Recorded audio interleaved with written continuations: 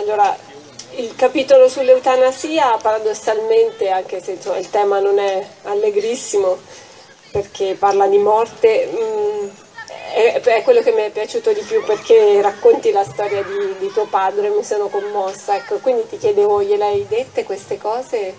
Eh, dal vero tutte? È vero che dal cielo legge, ma... Sono stato un figlio molto molto problematico, sbattuto la porta, oggi l'ho anche raccontato, mio amico Carlo che conosce, qualcuno di voi conosce, mi ha conosciuto nel momento in cui sbattevo la, la porta 19enne, giovanissimo, da casa dei miei genitori, in conflitto con mio padre, un conflitto che non si è risolto mh, mm, pienamente, devo dire la verità.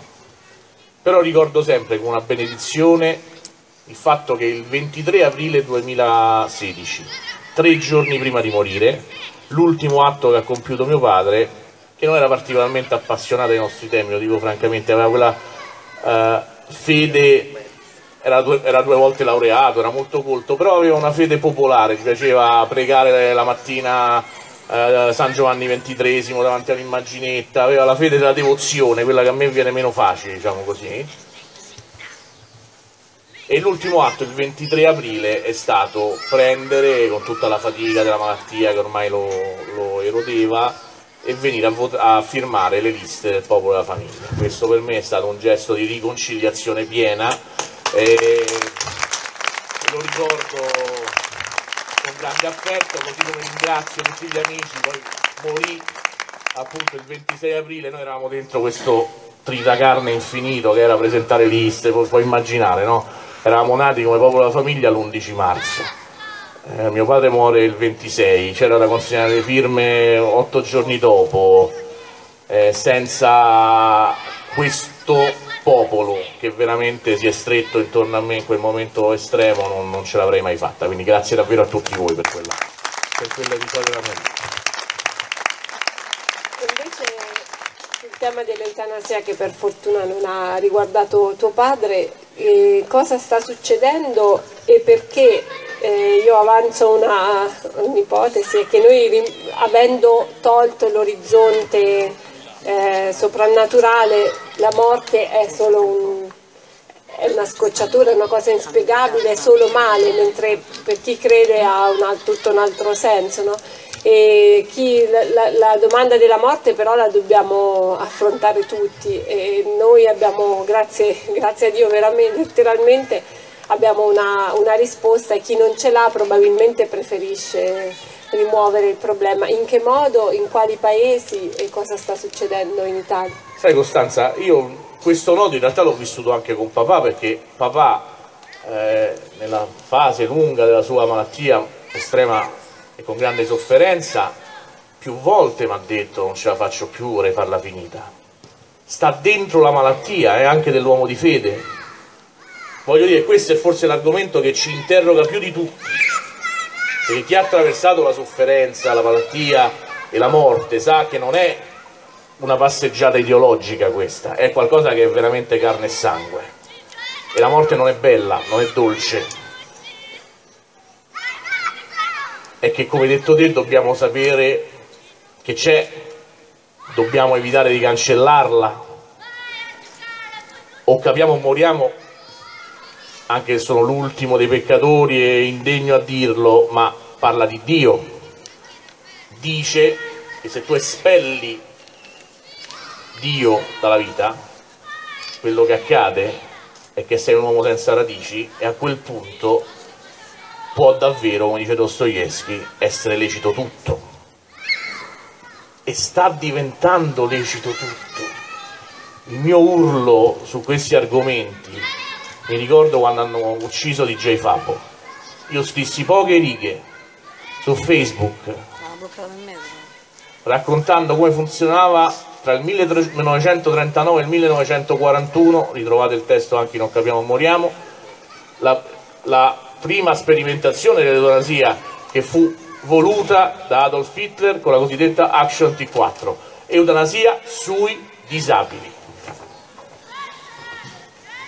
E io feci questa notazione su Facebook dicendo e paragonando i numeri che troverete paragonati Quindi non capiamo, moriamo, che almeno Hitler li uccideva gratis.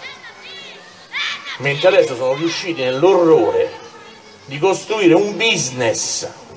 Perché ogni volta che leggete che il tizio se n'è andato, l'ultimo è questo ingegnere di Altavilla che ha preso e è andato in Svizzera senza alcuna malattia, a 62 anni, perché in condizione di fatica e perché depresso e non aveva un amico che gli dicesse non farlo, ma andato in Svizzera all'associazione XY di Zurigo, quando è arrivato a Zurigo non è che gli hanno fatto un atto pietoso perché erano amici, gli hanno chiesto 15.000 euro che con i costi del funerale, di tutto il trasporto, i viaggi, andate e ritorno, documentazioni diventano 18.000 e io ho chiesto quando accadde la vicenda di DJ Fabio ancora di più dopo questa vicenda dell'ingegnere, ma sono ormai centinaia di italiani che fanno questa scelta. Volete una norma così? Cioè quando Marco Cappato mi dice ecco qua l'ho portato in Svizzera, ho fatto tutto questo, ecco finalmente libero DJ Fabio. La mia domanda a Marco Cappato, lo troverete anche in una puntata, in una sfida televisiva che andrà in onda tra qualche giorno, la prima puntata protagonista Costanza Miliano contro Odi Freddi, tanto per capirci, la seconda puntata sarà divertente, applaudite perché è già, già divertente all'inizio pensarlo, pensate. e poi c'è la puntata di Nolfi Cappato. Io ho detto a Marco Cappato, tu mi vuoi portare, quando mi dici che hai fatto tutto questo e questo è bene, mi vuoi portare in quell'orizzonte normativo? Mi stai davvero proponendo la soppressione dei sofferenti di qualsiasi natura a pagamento? Questo vi stai chiedendo? Questa secondo te è una legislazione di civiltà e di progresso? Questa è barbarie, è regresso, è violenza, è vergogna nei confronti di chi soffre. Ed è intollerabile che sia raccontata e narrata da un punto di vista mediatico come approdo progressista. È incredibile che si riesca a concepire la mattanza e i numeri ritrovati non capiamo o moriamo, è una mattanza dei sofferenti addirittura con un meccanismo mercantile. Quel meccanismo mercantile che fa sì che all'inizio di quest'anno una signora, una mamma, che aveva cominciato ad avere il suo passaggio in demenza senile, ricoverata in una clinica, viene ricoverata e comincia a diventare fastidiosa. Chi ha avuto, eh, ho avuto in famiglia i malati di Alzheimer, i malati di demenza senile, sa che possono diventare fastidiosi nei contesti in cui vengono inseriti. Bene, quel, il medico ha detto che 30 anni prima la signora aveva firmato un testamento biologico in cui aveva detto che in caso di condizioni estreme avrebbe voluto essere soppressa. Impugnando quel testamento biologico è andato nella, nella clinica su istigazione dei parenti. Ha preso la signora con i parenti attorno.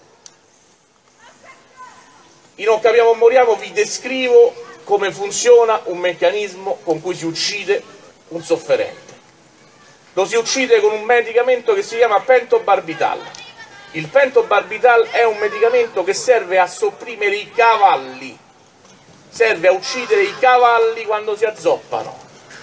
Il corpo umano lo rifiuta, lo vomita. Quindi il meccanismo prevede la somministrazione di un antiemetico per impedire il vomito, dopodiché si dà la, so la somministrazione di pentobarbital. Bene, quando la signora ha avuto la somministrazione dell'antiemetico, come risvegliandosi dalla sua demenza, perché anche un'aragosta se la metti nella pentola con l'acqua bollente strilla, quella signora ha detto mi volete uccidere, mi volete uccidere. Il medico ha detto ai figli tenetela ferma, i figli l'hanno tenuta ferma e la donna è stata uccisa. In Olanda. Non è una storia inventata, come al solito trovate tutte le fonti, trovate i giornali di tutto il mondo che ne hanno parlato. Sapete perché? Perché per la prima volta della storia dell'eutanasia in Olanda il caso è stato portato all'attenzione della magistratura, perché c'è una commissione che in Olanda è attenta a guardare tutti questi casi. Io leggendo la commissione intervenuta ho detto finalmente, almeno una volta la commissione interviene. Da quando c'è la legge sull'eutanasia in Olanda, primo gennaio 2002, non era mai intervenuta, solo in un altro caso, questo è il secondo caso. Sapete perché è intervenuta? Per mandare gli atti alla magistratura e dire legittimate i medici a comportarsi come questo esatto. medico. Esatto. Questo è il dato. Signori, è conseguenziale. Noi dobbiamo renderci conto che l'introduzione di queste norme produce fattori ed elementi conseguenziali se l'Italia apre i cancelli di questo inferno, anche per le condizioni tragiche in cui versa il sistema sanitario nazionale, almeno in metà del Paese, le conseguenze della mattanza dei sofferenti assumeranno proporzioni impensabili. Mi dà fastidio fare la Cassandra, ma finché avrò fiato in gola griderò su questo orrore.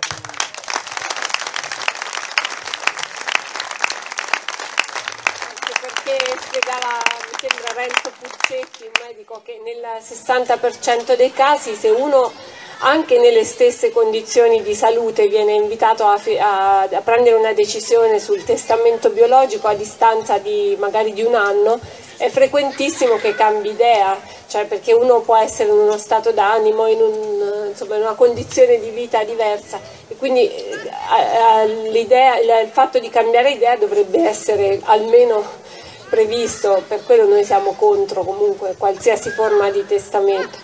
Credo che l'eutanasia tra l'altro sollevi, cioè tuo padre non l'ha fatta finita perché c'era intorno delle persone che l'hanno sostenuto nella sofferenza, perché solo la compagnia ti può, credo, dare la ragione di, di continuare a stare in una sofferenza.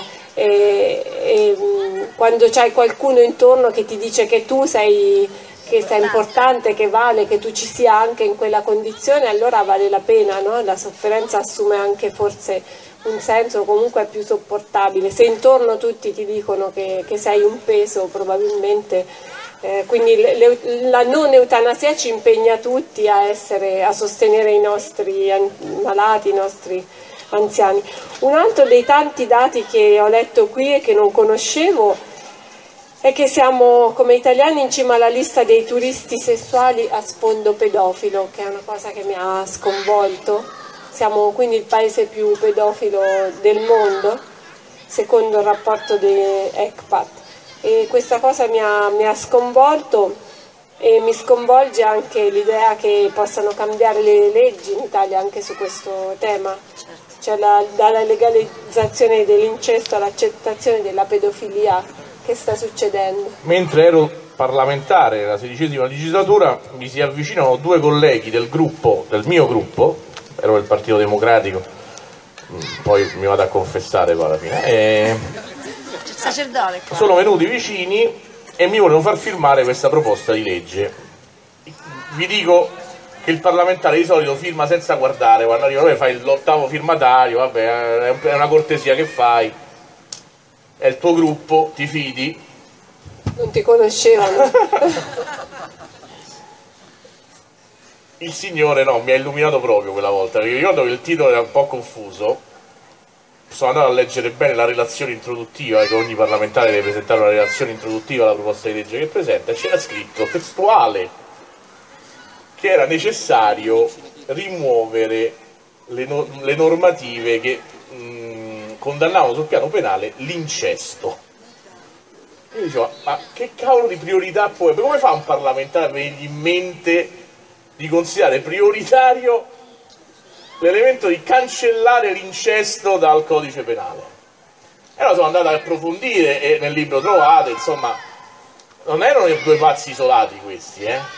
C'è una cultura europea che vuole andare oltre l'incesto, che parla di diritto alla sessualità dei minori di 12 anni, che vuole arrivare a una legalizzazione della pedofilia esattamente col percorso, la finestra di Overton, che è stata aperta e spalancata sul vuoto con altri argomenti.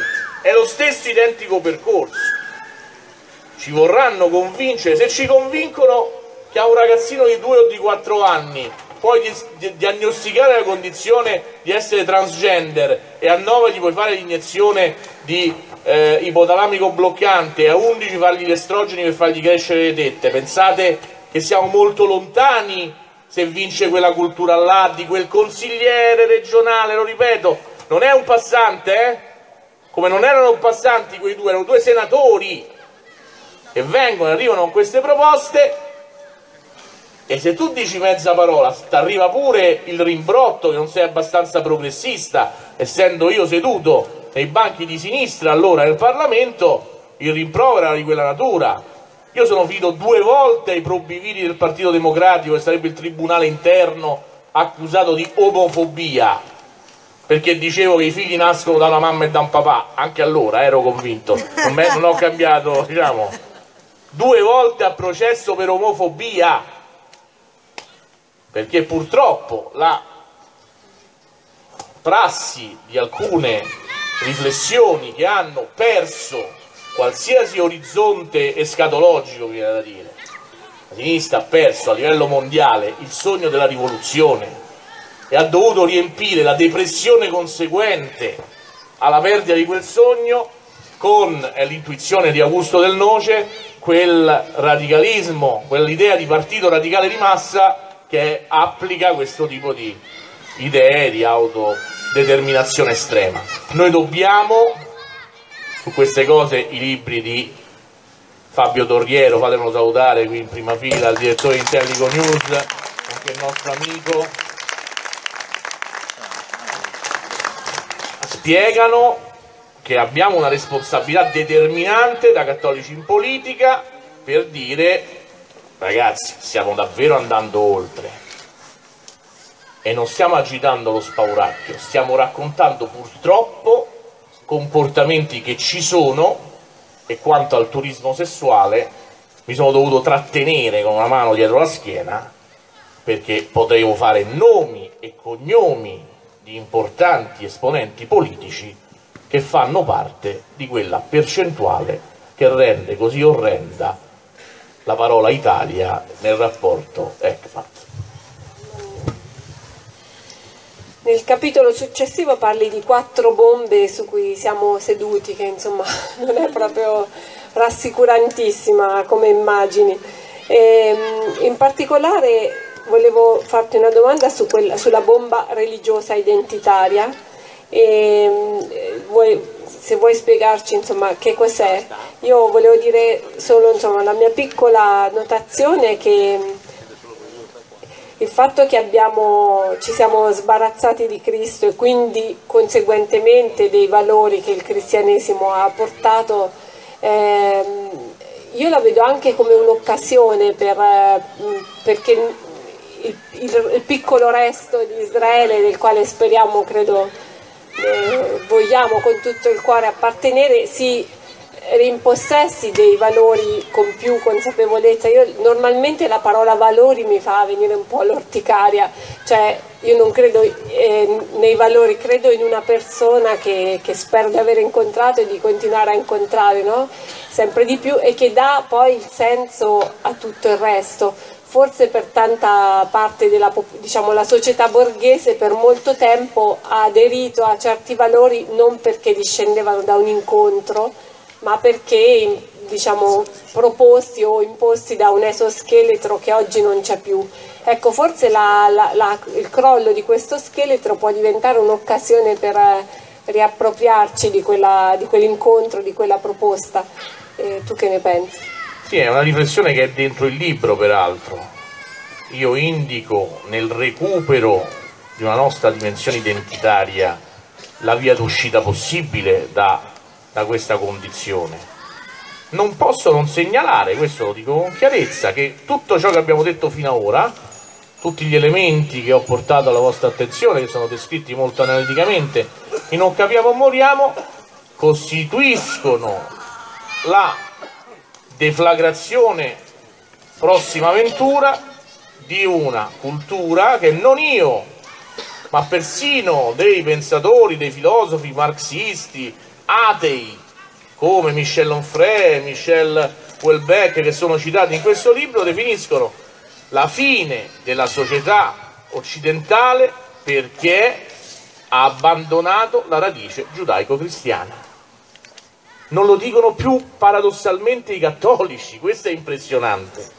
Ma se leggete Décadence di Michel Onfray, uno dei libri più importanti negli ultimi anni in Francia, o lo stesso eh, Welbeck che è più una narrazione, ma troverete che la riflessione di questi pensatori che vengono da lontanissimo è tutta dentro la perdita di Dio, la perdita del rapporto radicale con Cristo, del rapporto che sa far innamorare un giovane di Cristo e che su questo riesce di conseguenza a produrre una radice che lo salva.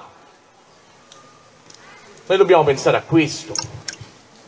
I nostri ragazzi senza Cristo sono perduti. È questo l'elemento cruciale, vorrei dire, della riflessione di Ottaviano Moriano. Perché la proposta che riceveranno e che stanno ricevendo è la proposta di un qualche altro radicalismo, che può essere il radicalismo del comportamento della libertà oscena, del rapporto con le sostanze della droga, dell'alcol che vengono citate, guardatele quelle statistiche, perché sono impressionanti, amici Non miei. bisognava saltarli i numeri, no, bisognava No, vabbè, se no non lo comprate più, allora. Vabbè, comunque ci sono tanti numeri che raccontano, i numeri non sono messi là a caso. Non volevo fare lo sfoggio di erudizione perché io anche Mario bravo a tirare fuori dei dati. Se io oggi allarmo su alcune questioni che riguardano la presenza degli immigrati nel nostro paese, allora, e mettiamo i piedi nel piatto, è anche perché purtroppo nel parchetto sotto casa la gestione del traffico di droga che è composto da cannabis, che è composto da oppiacei, che è composto da MDMA, da droghe sintetiche e da cocaina, è in mano a una comunità specifica, i marocchini, i tunisini, gli algerini, gli egiziani. 98%, andate a guardare i dati della popolazione carceraria, in questo libro ci sono i dati della popolazione carceraria al 31, dicembre 2000, 31 luglio 2017, forniti, anzi rubati, ve lo dico chiaramente, al Ministero della Giustizia, cioè al mio amico Andrea Orlando, e andrete a vedere che nella popolazione carceraria straniera, 19.000 unità, la stragrande maggioranza è composta da islamici. Se tu metti insieme i cattolici, i protestanti, i testimoni di Geova, gli ortodossi, eh, quindi ha compresi tutti gli slavi, i buddisti e tutte le religioni messe insieme, non fanno la presenza islamica nelle carceri. Sapete da dove vengono tutti i ragazzi di 20, 21, 22, 23, 25 anni che hanno travolto i ragazzi e, e anche italiani a Barcellona, che hanno travolto a Nizza, che hanno acceso una bomba nella metropolitana di Londra, che hanno ucciso al Bataclan? Vengono tutti dalle carceri, qualche volta addirittura dalle carceri italiane. Noi siamo seduti su quattro bombe. Questi ragazzi, Costanza, sono pronti a uccidere e a morire per la loro fede. O non sono dei fissati con la religione fino a un certo punto, eh?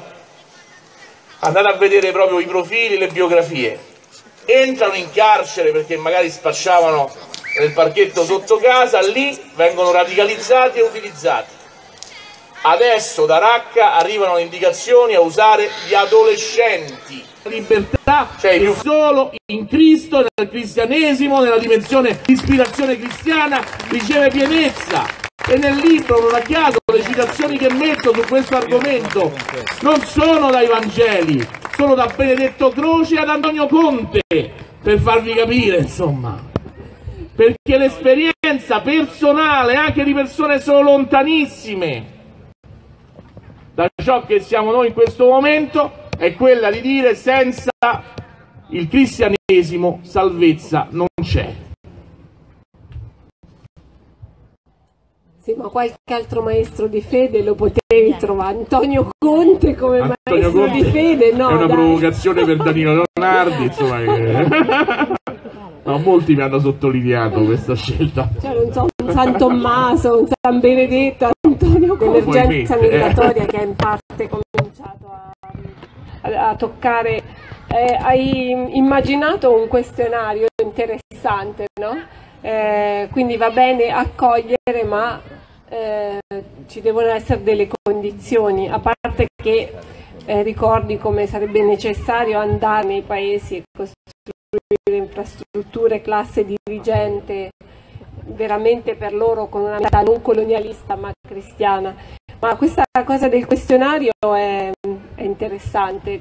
Sì, è anche abbastanza provocatoria perché è impensabile oggi questa proposta. È ai tempi dello Ius Soli è alle nostre con il questionario fascista. Questi propongono Ius Soli in un territorio, scusatemi, eh, sono noiosissimo con i numeri, però vi ho detto prima che abbiamo perso Bologna. Contemporaneamente i tanti colleghi di Nicola Di Matteo, cioè le persone che vivono in polizia e stanno all'ufficio passaporti, hanno dato 205.000 nuove cittadinanze nel solo 2016 a cittadini stranieri.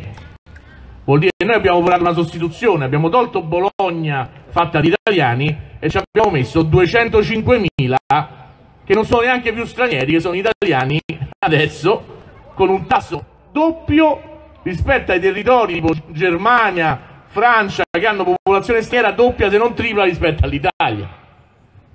Cioè la Germania ne fa 100.000, noi facciamo 205.000.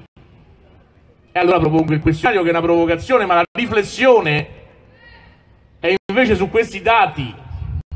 Vogliamo procedere per sostituzione? Io lo dico, quello che abbiamo raccontato fino adesso, Costanza, dimostra un vuoto valoriale. Aborto, eutanasia, utero in affitto, è il racconto di un vuoto. Adesso, con queste cifre, cerco di rappresentarvi il vuoto fisico ok? Perdiamo veramente, fisicamente centinaia di migliaia, si crea un vuoto, in fisica i vuoti vengono riempiti e il vuoto valoriale verrà riempito da altri valori e il vuoto fisico viene riempito, già ve lo spiegano, eh? quando vi dicono vi pagheranno le pensioni, vi stanno indorando la pillola per procedere alla sostituzione pagheranno le pensioni prendendovi il lavoro, le case, perché funziona così. Allora, noi dobbiamo avere chiaro questo elemento. Non è un approccio di natura xenofoba, non appartiene alla cultura del popolo della famiglia. Le domande sono sul, sul rispetto comunque, non sull'obbligo di aderire. Ma... Se a, a scuola chiedono, perché purtroppo ho avuto un dibattito, una violenta discussione su questo argomento, persino con un iscritto al popolo della famiglia, pensiamo un po'. Mi chiedono di togliere il crocifisso dall'aula, io faccio un questionario presu presupposto in cui gli chiedo che se vuole venire in Italia deve accettare i simboli che sono propri della nostra tradizione religiosità, insomma, il minimo.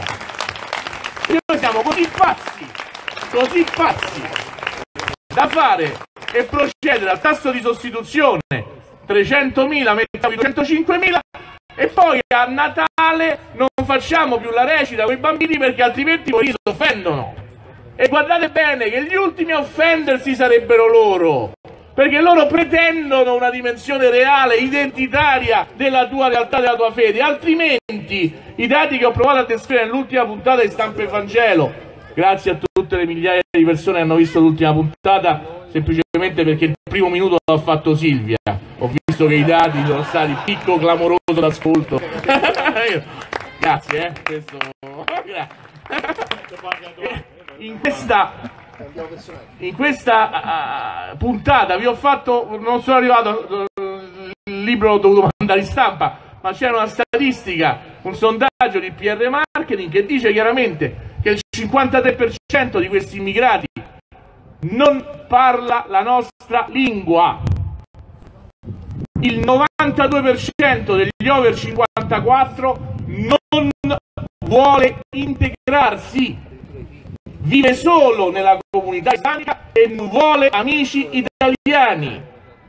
e rispetto alle figlie femmine il 41% dichiara che non accetterebbe una figlia laureata e il 51% dichiara che non l'accetterebbe fidanzata con un ragazzo cattolico. Signori, questi sono dati, sono numeri. L'approccio nostro è di natura cristiana. Non negheremo mai la forma dell'accoglienza al disperato che viene incontro a noi con la condizione della disperazione, ma a il Magistero della Chiesa, devo dire, egregiamente tratteggiato in quel lavoro che poi trovi nel capitolo 14, che è il compendio del compendio della dottrina cristiana, cui dobbiamo rendere grazie a Giuseppe Brienza, se l'ho visto da qualche parte, c'è Giuseppe, eccolo qui, e con Alessandro Serini l'ha scritto ed è l'architrave del ragionamento del popolo della famiglia, ricorda a Giovanni Paolo II, a Benedetto XVI, che il primo diritto che da cristiani dobbiamo tutelare è il diritto del cittadino a non migrare, perché estirpare una persona da casa sua è comunque una grave violenza e se poi arrivano, perché arrivano inevitabilmente attraverso quei viaggi terribili, solo maschi adulti giovani, noi abbiamo tolto a quelle terre l'unica possibilità di riscatto e di salvezza perché hanno perso le possibili classi dirigenti del riscatto di domani. E noi di questo dobbiamo essere consapevoli, non lo diciamo in termini, non siamo davvero i leghisti, va, così la, la semplifico. Siamo persone che hanno scritto un capitolo che dice aiutare davvero gli ultimi della terra, perché questo è quello che ci sta a cuore, ma davvero è l'accento. L'accento è su davvero.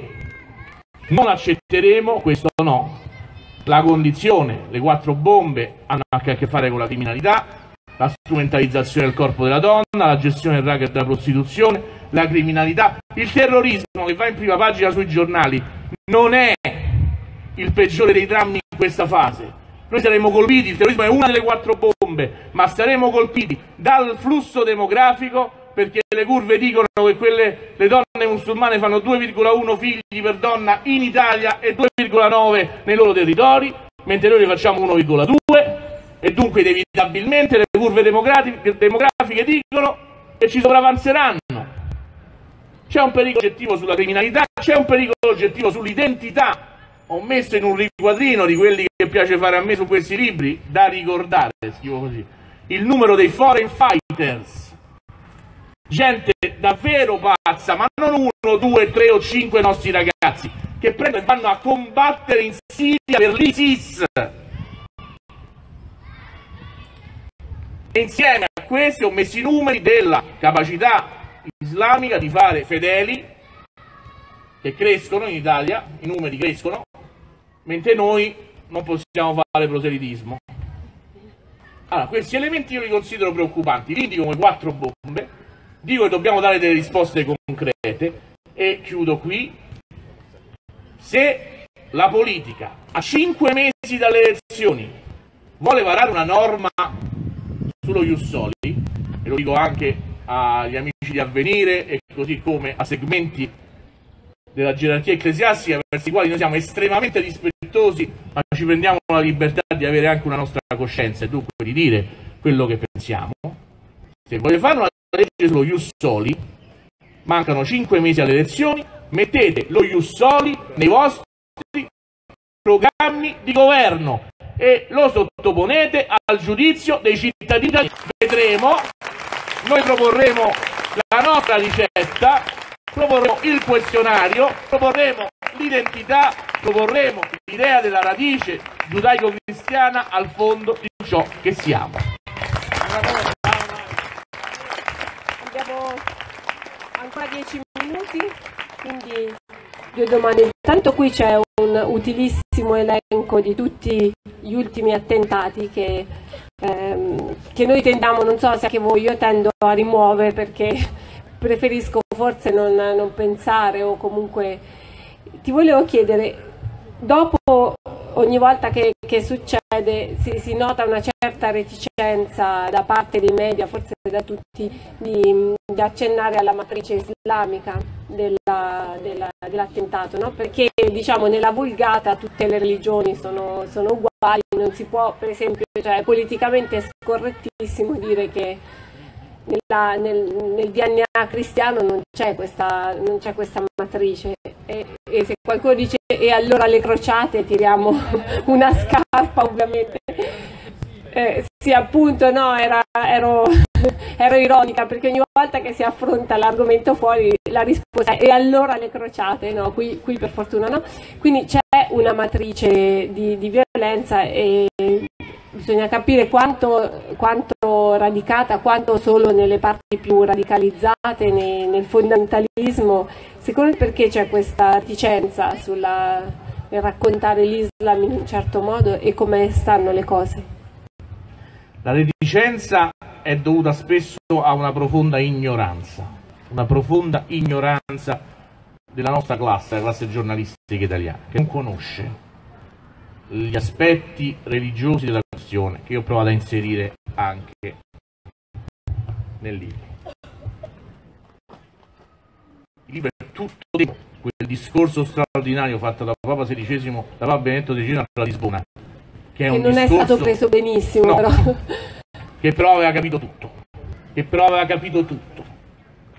Riusciva a fare diagnosi, a somministrare farmaci, a dare la soluzione. Allora io ho questo atteggiamento. Ho imparato a non lamentarmi mai. Ah, ma i giornali non lo scrivono, ah, ma in televisione non vi fanno andare. Non mi lamento. Provo ogni volta che accade, tanto accade, guardate l'elenco, vi impressionerà. Perché vi siete già dimenticati di attentati terribili che sono successi sei mesi fa. Che sono stati così pazzi da andare a Manchester quattro mesi fa a farsi esplodere dentro a un concerto dove c'erano solo bambini ragazzini minori di 18 anni. Ma già abbiamo rimosso tutto. Già abbiamo rimosso tutto. L'immagine di Aylan giustissimamente ci ha ferito, il bambino che arrivava, no, morto. L'immagine del bambino travolto a Barcellona l'hanno oscurata, non bisognava vederla quell'immagine là. Ma perché secondo te? Perché per giustificare i giornali che ci spiegano quanto è bello lo Jussoli, quanto è bello il tasso di sostituzione, come bene abbattere i cristiani e sostituirli con qualcun altro, devono far sì che tu accetti tutto questo supinamente. E guardate, questo è un male persino per l'Islam. Io non posso dimenticare che subito dopo uno di questi attentati venni chiamato, stranamente, a fare una puntata di Ballarò. Con un imam intelligente, l'imam Pallavicini, con Gad Lerner, meno intelligente, io ci andai provocatoriamente, ma non esplicitamente, non facendolo in maniera plateale, con un rosario a farmi dare la forza. Il regista della trasmissione scovò attorno al braccio un piccolo rosario colorato e lo inquadrò con una sua insistenza.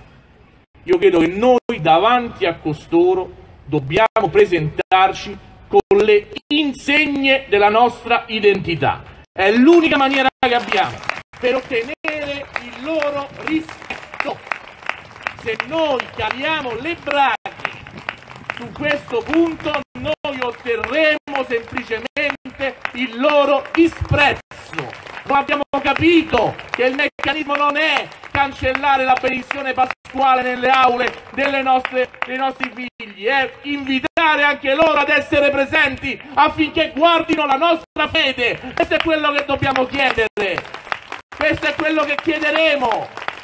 Questo è quello che ci connoverà.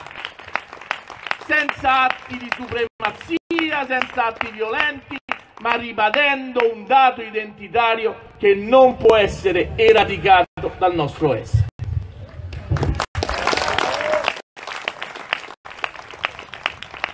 Direi che possiamo chiudere con un'ultima domanda con le notazioni positive che metti in questa foto, non proprio a, a tinte, diciamo rosa, eh, però hai fatto alcune notazioni positive di alcune cose che danno segnali contrari, per esempio eh, il fatto che nell'ultimo eh, dibattito preelettorale tra Trump e la Clinton, eh, probabilmente quello che fece cambiare le cose è la, il fatto che la Clinton si sia esposta eh, chiaramente a favore dell'aborto post nascita e questo ha spostato dei voti perché, perché ancora eh, in realtà nel, tra le elite si vede bene qual è il disegno, ma probabilmente il popolo non è tutto eh, conquistato e, e c'è anzi eh, qualcosa resiste. Poi citi il caso della Polonia,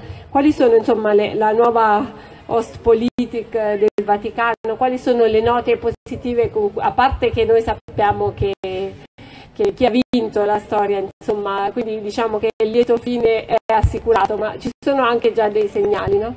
Sì, il, il, il libro sembrava se no troppo a tinte fosche, hai ragione, brava Costanza che dice... Ma il libro... il libro non dice moriamo, diciamo, dice o capiamo allora noi dobbiamo capire che siamo a un bivio e non c'è una, una sola direzione da prendere, non si da una sola parte. I popoli stanno scegliendo anche altro, eh? ed è meraviglioso, è bellissimo. Pensate al messaggio di speranza racchiuso dal documento firmato da Papa Francesco con il patriarca Kirill delle Russie a Lavana pochi mesi fa. Leggete i passaggi sulla famiglia, li trovate ovviamente e non capiamo moriamo. Guardate che bellezza, che prospettiva, che sguardo di lungo periodo. Guardate il sostegno che una leadership importante come quella di Vladimir Putin dà a queste opzioni avanzate da Kirill e dalla Chiesa ortodossa russa. È un elemento che ci interessa, ci sfida. Non è tutto bello, non sono un putiniano, ma voglio guardare, voglio capire e vedo questo e ve lo vedo buono. Guardate il referendum in Slovenia dove l'impegno dei vescovi cattolici ha fatto sì che fosse cancellata la legge sul matrimonio omosessuale, con l'impegno dei cattolici in politica, in un momento referendario. Abbiamo vinto! Guardate i cattolici della Croazia che hanno fatto mettere in riferimento costituzionale il matrimonio con unione tra un uomo e una donna. Guardate i cattolici che si battono contro il trasferimento di massa degli islamici sul loro territorio. Guardate i cattolici polacchi che hanno mandato al governo delle forze che sono contro l'aborto e per questo pagano quotidianamente l'attenzione ostile delle burocrazie dell'Unione Europea. Guardate che non c'è una sola strada. Noi abbiamo questo, lo chiamo sconfittismo cattolico. L'idea che ormai sia già andata, abbiamo già perso, oddio sono arrivati, hanno vinto e noi ci ritaniamo da una parte, aspettiamo i tempi migliori. È il tempo del combattimento.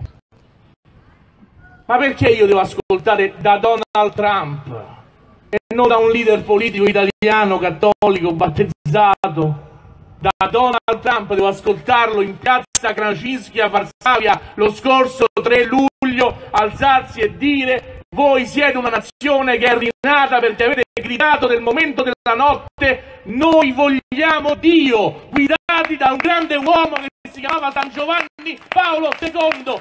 Ma perché lo deve dire Trump e non noi? Perché?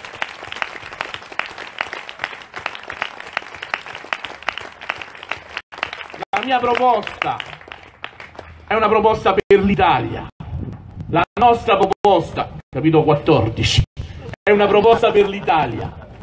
C'è una possibilità reale, concreta, la partita non è persa. È difficile? Volete dica che sia facile?